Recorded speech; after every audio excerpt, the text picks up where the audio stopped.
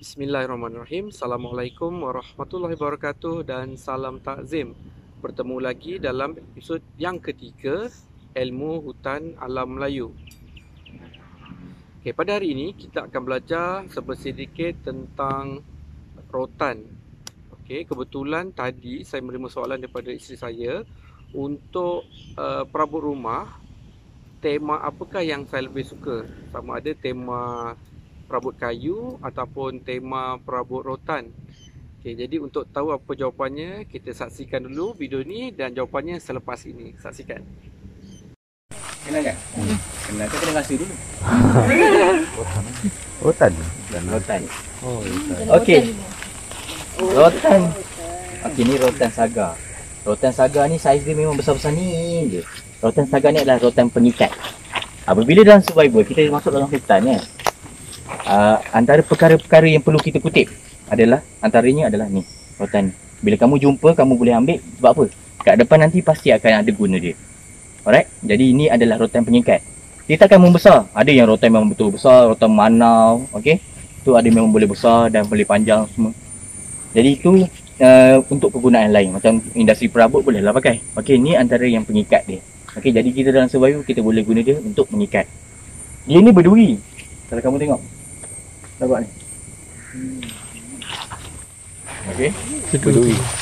Rotan ni memang terkenal dengan duri sebab apa? Duri tu dia untuk memanjat memanjat apa? Pokok lain. Ha, ni nampak ni halus ni. Dia bermula dari mana? Oh, uh, Tuan elok berduri dia. Asalnya ni. Duri dia belah sana. Kalau dalam hutan ni, Kalau kau tahu. yang ini kalau kamu tak perasan memang calar lah muka. Hmm. Oh ya Allah. Boleh okey? Halus sebesar tu pun tidak ada. Dah. Rasa. Okey, dia akan melekat. lah. Dia akan tarik. Itu kalau kamu tak perasan dia memang tarik terus. Ni tua lah ni. Ha, Dia kulit dah tu. Okey. Macam mana nak ambil hutan? Daripada bawah. Ha? Siapa tahu? Macam mana nak ambil rotan ni? Nak buang duri dia, apa semua? Macam mana? Masuk dalam air. Masuk dalam air. Oh, air pun tak jumpa. Gugur ke duri dia? Lembut, lembut. Lembut. Lagi Bakar, bakar.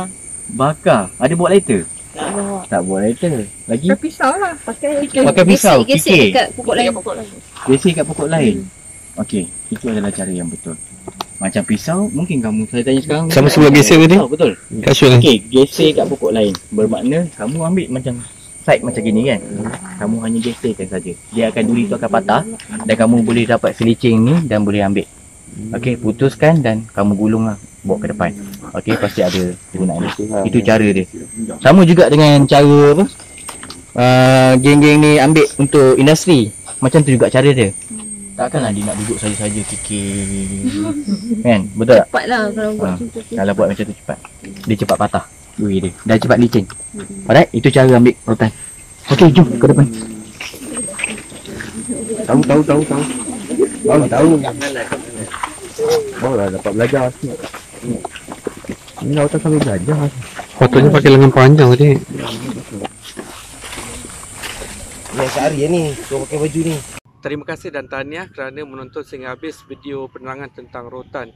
Jadi berbalik kepada soalan uh, untuk perabot tema kayu ataupun tema rotan.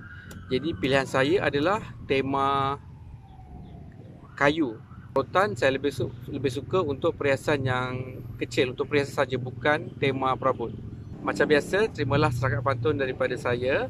Untung kelapa ada sabut, jatuh ke air timbul segera ada rotan pengikat perabot, ada cincin pengikat cinta. Sekian, terima kasih. Assalamualaikum.